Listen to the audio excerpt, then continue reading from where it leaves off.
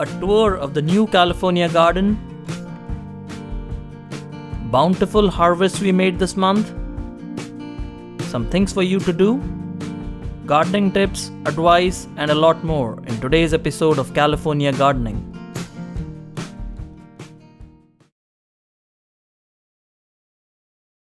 So let's begin with a tour of the raised beds. In the first bed, we have our ground cherries, the pineapple ground cherries, and some eggplants. And in the center, we have some gourds. This, I believe, is a white pumpkin that was a volunteer plant from the compost. And we have some onions. You can see the onion bulbs are now getting bigger. And we also have interplanted some bunching onions or green onions in between these onions and we'll use them for greens. And you can see the new trellis that we added. The watermelon plant is now trying to climb on this trellis.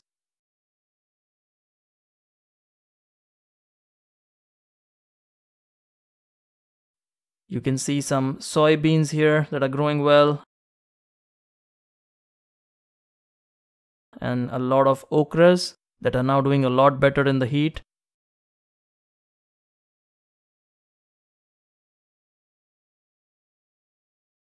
And coming back to the trellis, this was an idea that you all suggested as viewers, and we were very happy to incorporate that idea by building this trellis between the raised beds. You can see this Japanese cucumber plant that's trying to climb on this trellis. And this trellis is between the raised beds. So it also maximizes a lot of the area that we use for gardening. So thanks to everyone who provided all the valuable tips and suggestions. In the peppers bed, we have a lot of pepper varieties. You can see the candy cane pepper,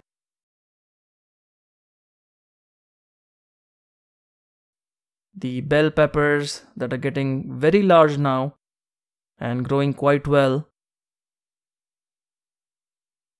And I had always struggled to grow peppers, but I think this season my peppers are doing very well. I've been feeding them with organic fertilizers to start with, and every 10 days or so I feed them fish emulsion and earthworm casting tea, and they seem to be doing good. You can see these giant Marconi peppers as well. All the peppers are growing quite well. The cayenne peppers, these are organic cayenne peppers that I've been saving seeds for quite some time now. And I'll continue to save seeds because this is a very prolific pepper variety. And once again, you can see the trellis. This is the second trellis. So this trellis design, this trellis idea gives us a lot of room to use in our garden. And I've got some bean plants planted right next to the trellis. Now coming to the tomato bed, you can see there are a lot of tomatoes and we interplanted these tomatoes with some flowers which are very beneficial.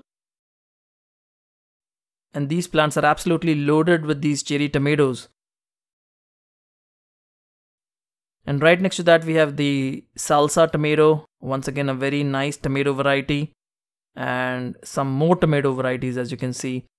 And the lettuce that's interplanted between the tomatoes is growing well too. You can see some more tomatoes here. So overall I'm pretty happy with the way the lettuce and tomatoes have grown together. And you can see the two trellises here with this view. They look beautiful. So building trellises between the raised beds is a much better idea than building it on the raised bed. And finally in the bed at the end we have a lot of taro plants growing. The ivy gourds are on the back. And we have one black beauty eggplant, some kale. These kale plants are doing okay despite being in full sun. And the sunchoke plants, these have really taken off. And they're becoming so huge that I think I'll probably have to dig a lot to remove all these sunchoke plants at the end of the season. The stems are getting very thick too. And this is our lone Romanesco plant that had a lot of insect damage, but hopefully it will grow well. And then we have the watermelon. The watermelon, as you can see, is producing a baby watermelon. And I'm really excited to see how this one grows. And it might take maybe a month or two to get to its full size. We have our longevity spinach that's growing. It's growing quite well now. And some more watermelon plants that are just using the raised bed to grow. So overall, this is how our raised bed garden looks like. And now let's look at our containers. We have our Malabar spinach growing in this first container and they're growing a lot better now. And they will be growing on this trellis that we created. We have our black beauty eggplant. As you can see, the eggplants are quite large and this plant is growing quite well. You need to make sure that you don't feed too much nitrogen to your eggplants. You can see the amethyst eggplant here also producing a lot of eggplants. And we did harvest a lot of eggplants this month as well. But you can still see some growing around the plant. This is our pole bean plant and you can see it has really taken off and it has started climbing on this trellis that we added. This is a ladder trellis that you can get at any garden center. And this is a little herb barrel which has Thai basil surrounded by some cilantro and some marigold plants, beautiful flowers. And you can see some soybeans here. These soybean pods are now maturing and hopefully we'll be able to harvest these soybeans or edamame very soon. We have our chilies here. This is the bird's eye chili doing quite well in this container and the other pepper plant is doing okay but I think the two pepper plants are now struggling for space. We have our Baby Bubba okra and we planted a lot of okra plants in this container and it seems to be a lot for this one barrel. Our pumpkin plant is also growing well. It's actually winding out to the side. As you can see on both the sides, we have the vines as well as the pumpkins. The pumpkins are growing as well. And on the other side as well, you can see the vines are growing quite well. And we have the hyacinth bean. This is the climbing variety of the hyacinth bean. It's now producing flowers. followed by our Anaheim chili peppers. As you can see, they're loaded with peppers right now. And we probably need to stake these pepper plants so that we can easily harvest all these wonderful peppers that are growing around it. The Anaheim chili pepper is a very productive plant. This is the cantaloupe plant or the cantaloupe or the muskmelon and the vines are growing all over the place here followed by a mint plant which is in full sun and is seem to be bolting a little bit you can see some flowers that are appearing and our husky cherry red tomato a tried and trusted tomato variety that has produced a lot of tomatoes and we harvested all the cherry tomatoes from this plant and followed by the eggplant this is the millionaire eggplant which gave us a few eggplants last month and it continues to produce more eggplants. And these eggplants are absolutely delicious. We have our Nombo giant okra plant. The Nombo giant okra has produced a lot of okra pods. And since I've run out of seeds, I'm just letting some of these okras mature. And I will be then able to save the seeds for this wonderful okra variety. It's one of the most productive okra varieties I've grown. Flowers are beautiful. The pods are quite large and it grows quite well. We finally have our corn. We did harvest some corn this month and we left the others to mature for a little longer on the plant and we should be able to harvest all our corn very soon. And that completes the tour of our container garden. And now let's look at all the harvests we made this month, beginning with corn. Our corn plants were growing in this whiskey barrel container and they produced a lot of cobs. Now one of the ways to check whether your corn cobs are ready for harvest is peel off a little bit and check the kernels and then you can just pull out the corn if everything looks okay. And just like that you can check the kernels before you harvest. Each corn plant should produce 2 to 3 cobs and that's pretty much a standard. You can go higher or lower depending on how your corn plant is growing. Another indicator to look at, look for the corn silks. They should be dry. And here you can see we harvested some good quality corn and we left the rest of the corn to mature on the plant. Moving on to the next plant, we are now harvesting our amethyst eggplant. And if you remember, this eggplant was growing in this whiskey barrel container for quite some time now. And look at the eggplants, they're just beautiful. And this was one of our higher producers. It did produce a lot of eggplants. And it has been producing a lot of eggplants for quite some time now. Now, the eggplants do start off with a deep purple color and then become a lighter amethyst color. So you can harvest these eggplants pretty much any time once they reach a decent size. And here you can see the harvest, they look pretty good.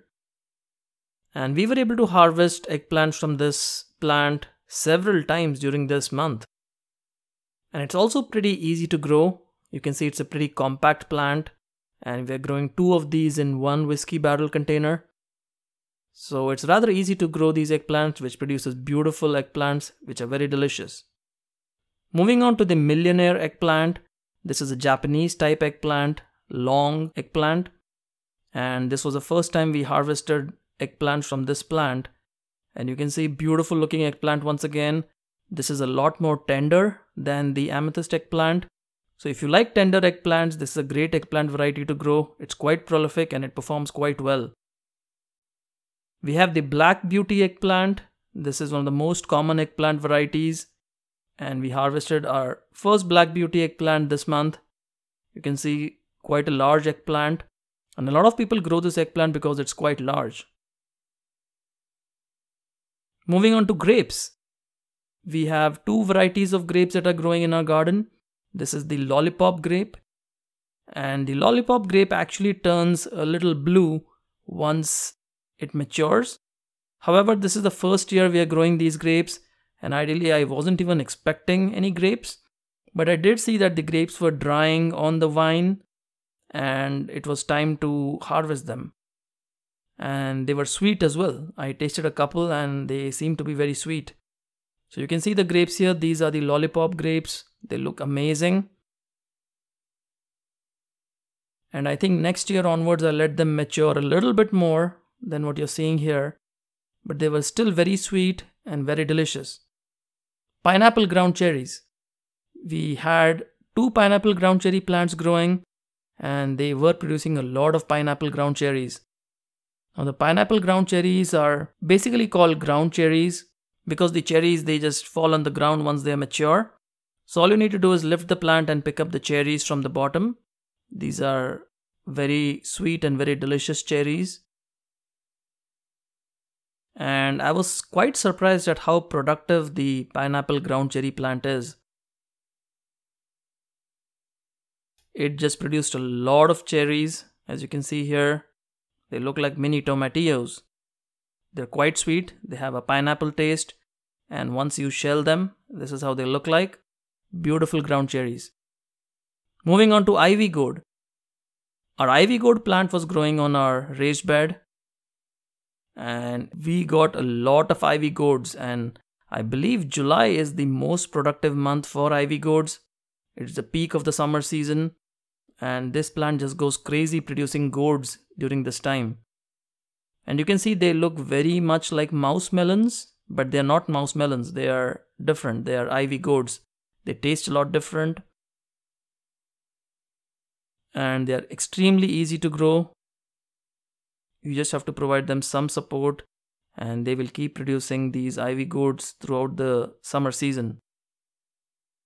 And you can see here the plant is loaded with ivy gourds.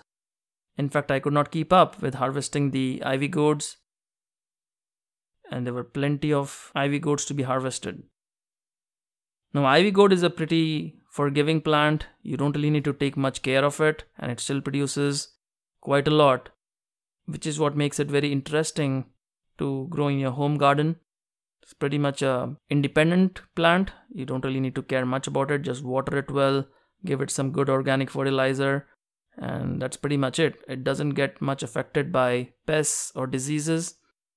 And once the ivy gourd becomes red, it's not a good idea to harvest it. I mean, you can just harvest it and throw it to prevent the seeds from spreading around. But if your ivy gourd turns red, you've waited too long. The right time to harvest ivy gourd is when they're green and tender. And you can see just in one day, the ivy gourd plant has produced a lot of gourds. and we kept harvesting these ivy gourds for the rest of the month too. So all in all, I think the ivy gourd was also a very productive plant this month, yielding us a lot of ivy gourds. You can see the harvest, it looks beautiful. And on several days, we were able to harvest these ivy gourds. Moving on to lettuce. We had our lettuce plants interplanted between the tomatoes and that gave them a lot of shade and you can see the lettuce leaves they look beautiful quite nice quite juicy and they were also getting a lot of water. I made sure that i watered them a little extra compared to the tomatoes because you do need to keep your lettuce plants well watered. And this was the green lettuce that we were growing.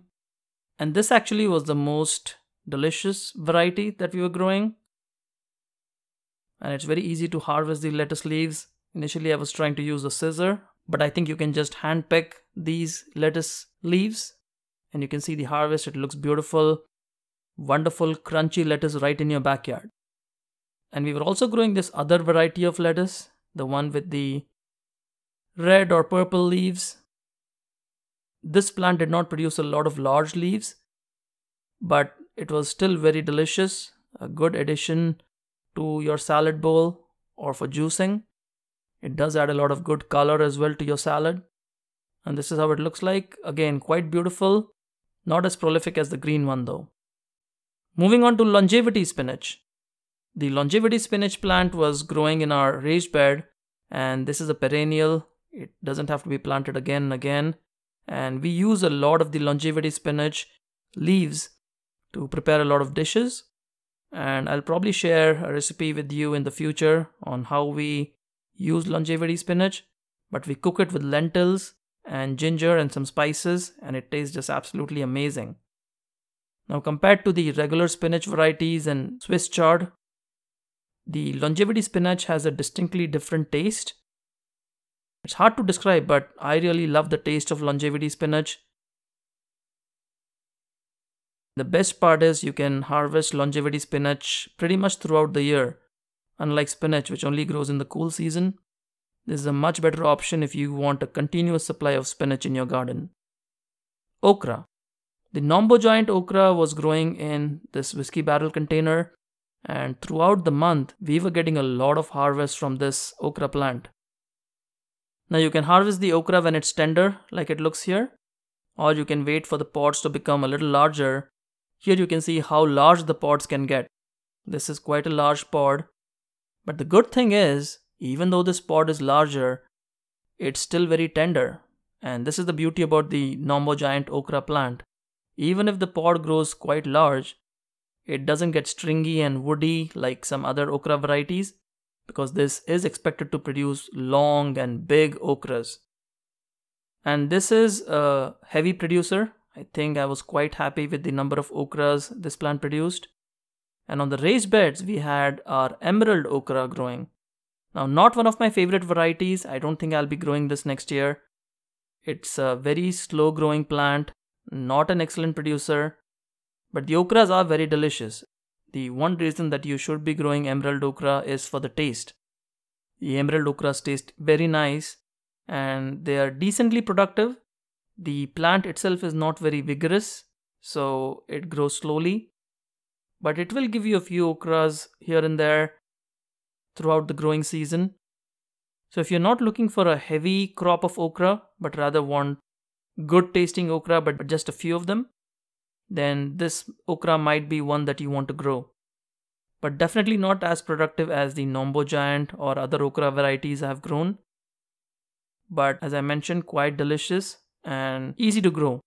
The plant itself is not prolific, but once you plant it, it doesn't have a lot of issues with pests or diseases. And you can see here the okra, it looks beautiful. So all in all, the emerald is a secondary choice for me now. I think going forward from next season onwards, I might not grow this okra variety. Moving on to peppers. Our first pepper variety is the bird's eye chili pepper. And this is a very prolific chili variety that produces extremely hot peppers. Now, these peppers are not as hot as the black cobra pepper, for example, but they're also not as mild as the cayenne pepper.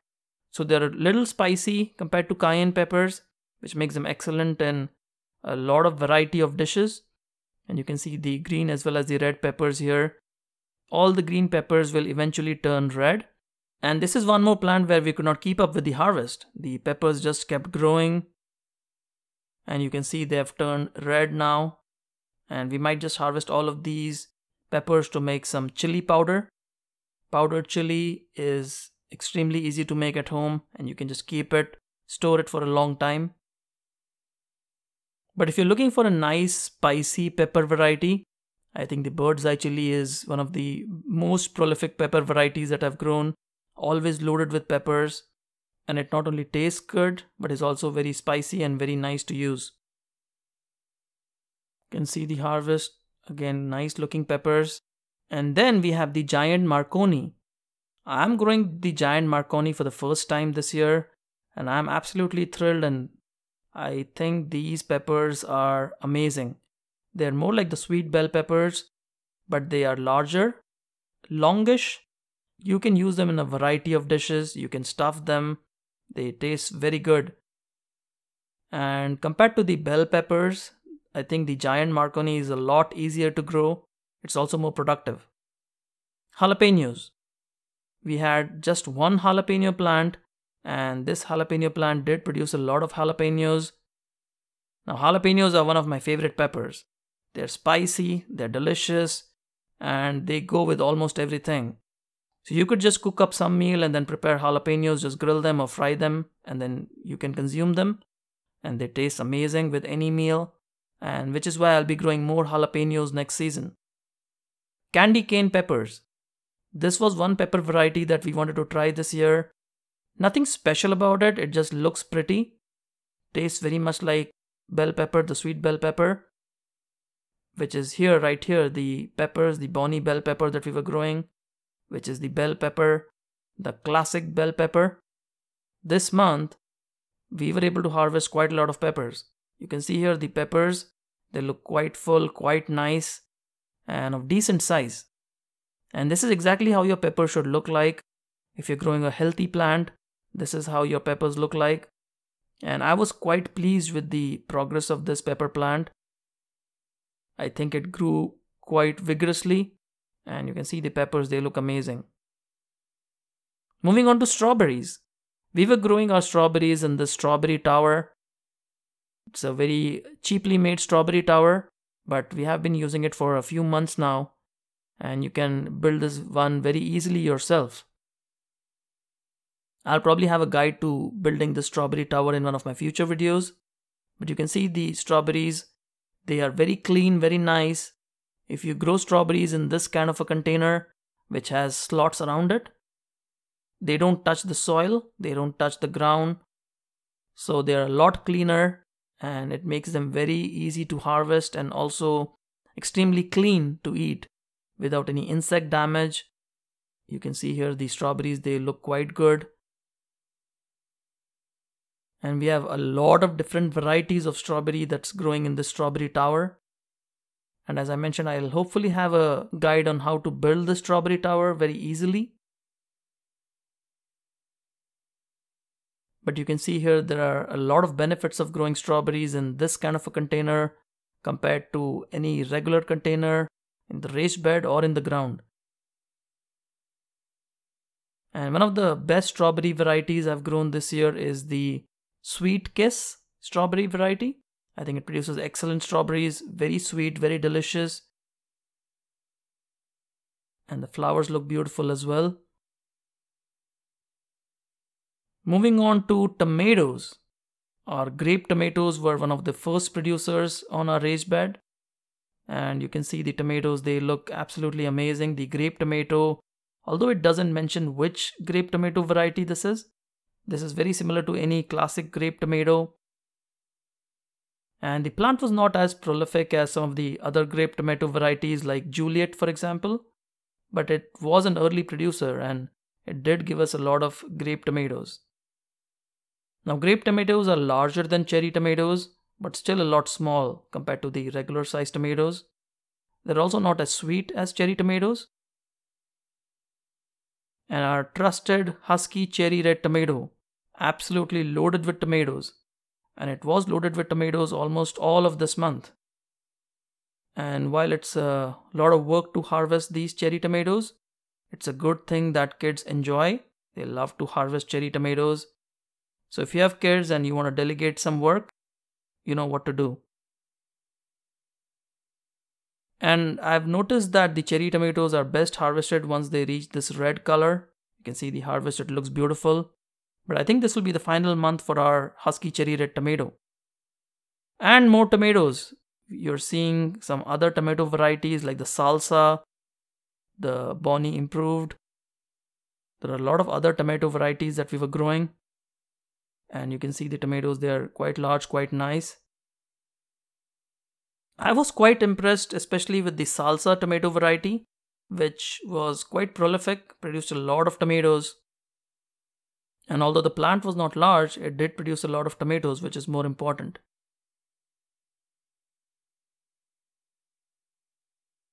So, all in all, I think so far the tomato season has been quite productive. And the biggest producer, of course, was our Super 100 cherry tomato, It's loaded with tomatoes, lot of sweet, small cherry tomatoes, great for eating in salads, and they have a distinctively sweet taste. So if you're looking for tomatoes that are not sweet, this is not a good variety for you. But I love these in salads, they just taste amazing. And they come in bunches. You can see all these bunches of cherry tomatoes that are quite prolific, quite productive and I've actually gotten tired of harvesting these tomatoes, there are so many. And now let's look at some things to do in the garden, beginning with pest control. Pest control means controlling the bad guys or the bad insects in your garden. And our weapon of choice is neem oil. This is neem oil extract that you can purchase at any garden store. I'll also provide a link in the comment section below where you can buy this on Amazon. Always look at the first pinned comment to buy any product that I've discussed in the video. And this is a small sprayer, so I'm adding three capfuls here. If you're using a larger sprayer, you can add a little bit more and read the instructions on the product to see how much you need to mix. And after mixing it with water, we're going to spray the corn silks. Now, this is a very important step you need to do when growing corn. If you don't do this, the corn worm will just eat up your corn when it's being ready. And I've had this damage in the past, and ever since I've been spraying my corn silks and I've always been getting a decent harvest. Now make sure that you watch your tomato plants carefully. If you have tomato plants that look like this, you probably have this little buddy on your tomato plant that's chewing away the leaves. This is the tomato hornworm and just remove this pest as soon as you see it. And while it looks really beautiful, look how gorgeous it looks, just amazing. This pest though will completely devastate your tomato plant in a matter of hours. And this is one more reason why you should be monitoring your plants and making sure that there are no insects or pests on your plant. And one more important activity that you need to do for your tomato plants is pruning. Now, I'll admit it, I hate pruning. It's just a lot of work. I am always behind when it comes to pruning, but it's extremely important to prune your tomato plants remove all the brown and dead leaves, any branches like this that are growing on the side. They add no value to your tomato growing and will introduce a lot of diseases which will ultimately destroy your tomato plant. So any yellow leaves, any brown leaves, feel free to just remove them. And I usually don't even compost it. I just throw it in the trash and remove any suckers that are growing. The suckers will also take up energy from your plant and not cause your plants to grow very well. And for our next section, we will look at how to build a trellis between raised beds. And for this, you need a wire remesh. This is a 42 inches by 84 inches wire remesh sheet. And this is usually found in the hardware section of your home improvement store. And the first thing we'll do is paint it. Now, painting this is a real pain. It takes a lot of time and if you're using a brush like me it will probably take you a good 30 minutes to paint each of these meshes but once done what you need to do is put one mesh on each side of your bed and this height is 42 inches the width is 84 inches so you need two of those Now once you put the mesh, I'm using a 5 foot fence post to secure this mesh and it's extremely easy to secure it. There are already holes in the fence. All you need to do is use some wire ties and the wire ties will just lock in place. They will hold the fence in place. And once you do that, your trellis is pretty much done if you just want one side. Like I was using this as an independent trellis just on one side of the bed. But if you want the trellis across your raised beds, then you have to add in one more panel on the other side. So as you can see, I'm just finishing up the panel on one side by using these wire ties. And then I'm doing the same thing on the other side of the raised bed. So I'll be creating exactly the same base trellis. And you can see you could just have to really position your fence posts and then Keep your trellis right next to the fence post where you can use the wire ties to secure them. And you may have to move the fence a little bit here and there depending on where your mesh actually sits. And after that, it's easy. All you do is use wire ties to secure the fence. So you now have one horizontal fence, which is 42 inches in height, 84 inches in length. And you're now securing them with the wire ties. And once you have these two ready, you can see them side by side here. You can use them as independent trellises. But what we have done is to add a trellis between the raised beds, we added another panel on top of it and we are securing it now. And it overlaps about two sections. You can see two of the squares overlap, so that gives us enough room to tie these two trellises together. And all we really did was to just hold the trellis and then tie it you don't even need to bend the trellis which goes on top. It just takes a natural curve shape. And you need to secure the trellis along with the one you put in the bottom very securely. And we're doing this using 8 inch wire ties. I think the 8 inch wire ties are the perfect size for securing heavy material like this. And once the wire ties are there in place, I think this trellis looks very sturdy and very secure. And you're going to be using a lot of wire ties, so I suggest that you buy a 100 pack. It's just a lot cheaper. And right in between, we have added another fence post, a 5 foot fence post. And the reason for adding that in the center is because the trellis on the top are actually two sections, two more panels. So by adding the third fence in between, you add more stability, you add more structure to your trellis. And this trellis is so sturdy that it can be used to grow pretty much any type of climbing plant. And you can see the wire ties, they help secure the trellis very well. And it also lets the trellis maintain its natural arc very easily. And this is how the trellis looks like after it's done. As you can see, we've added two trellis in the center and the long side is between the two trellises and it bends easily. And the wire ties that have been holding this in place can now be cut off. The edges can be cut off. You don't have to cut off the entire wire tie, but just the tails that are left. And a lot of people just leave the tails on and that makes it look very ugly. I highly recommend that you cut off the tails because the wire ties will still hold everything in place. And these are quite long wire ties. So while you want the rigidity of the 8 inch wire tie, you don't want the long tails. So just cut them off one by one and your trellis will start looking very beautiful.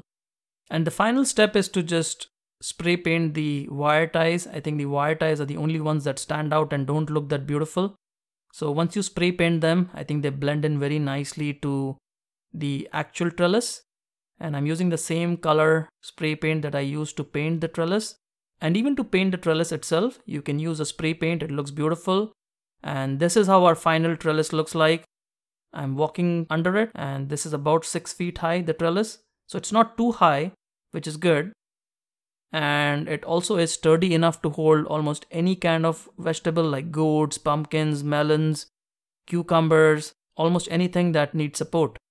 And now let's look at one interesting rose plant that we were growing in our home garden. And I promised I'll share some interesting stuff with you. And this is what it is. We were actually thinking whether this rose looks red in color or it turns into like a lighter pink color once the flowers fade off. And the plant decided to surprise us with a yellow flower, a yellow rose flower in the same plant. So this is a very common technique used by gardeners where different rose varieties can be grafted onto the same rose stem, resulting in some beautiful plants like this. And we were not really expecting this. This looks absolutely beautiful. And now for the recipe section of our video. And today we have ivy gourd with peanuts for you. So as you saw, we harvested a lot of ivy gourds from our ivy gourd plant and we had to put it to good use. So the first step is to chop up the ivy gourds and once you've chopped it up, just wash it well. You can wash it before you chop it as well. And this is how it looks like. The ivy gourds chopped up. They almost look like mini cucumbers. We're now going to chop up some chilies, some hot peppers, some garlic. The garlic adds a lot of flavor to what we are preparing. And some cilantro, which adds a lot of aroma and a little bit of spice to the ivy gourd with peanuts. And we need half a lemon Take some peanuts in a pan and just roast it. We've used about one cup of peanuts. And once they're roasted, you can add them to any kind of blender and just slightly crush them. You don't want to grind them to a powder, just crush them a little bit, keep it coarse so that it looks something like this. And then in a pan, you can take some oil, just a little bit of oil, and then add mustard seeds, and then add in the chopped up garlic and chilies, and finally add in the chopped ivy gourd and then mix it well. And we're adding a couple of spoons of turmeric powder into this. And remember that turmeric is very good for your health. We use it almost every day. We're adding just a dash of chili powder. You don't have to do it, but just a dash of chili powder adds a lot of good flavor to this dish. And you start cooking it. Just keep it covered for about 5 minutes and open it up and check how the ivy gourds have cooked and as you can see we need to keep stirring it keep stirring it in this open pan for quite some time takes about 5 to 7 minutes for the ivy gourds to cook completely and it may take longer depending on your heat settings but usually about 7 minutes or so is good enough to cook all these ivy gourds and you need to keep stirring in between just to make sure that the ivy gourds are not sticking to each other and they're cooking evenly. And once they're slightly brown, as you can see here, this is the time to now move on to the next step, which is to add the crushed peanuts and mix it well. And once you add the crushed peanuts, it'll still take a while for it to blend into the ivy gourd. The ivy gourd absorbs all the flavors of the peanuts and it takes some time. And finally, we garnish it with some cilantro. You can see it's already looking very beautiful. And once you mix in the cilantro, the cilantro uses a little bit of heat to spread its flavor within the dish. So just stir it up a little bit. And we are done preparing our dish. Now the only thing that we left out is the lemon. So just squeeze some lemon on top just to give it a nice flavor. And this is very delicious ivy gourd with peanuts that you can eat with tortillas, with rice, and it tastes absolutely amazing. So there we have it folks, that was our episode of the July 2020 episode of California Gardening. If you're not already a subscriber, hit that subscribe button and click on notifications to get all future updates. If you like this video, give us a thumbs up. And if you have any questions or comments, please put them in the comments box below. We'll see you again soon. Happy gardening!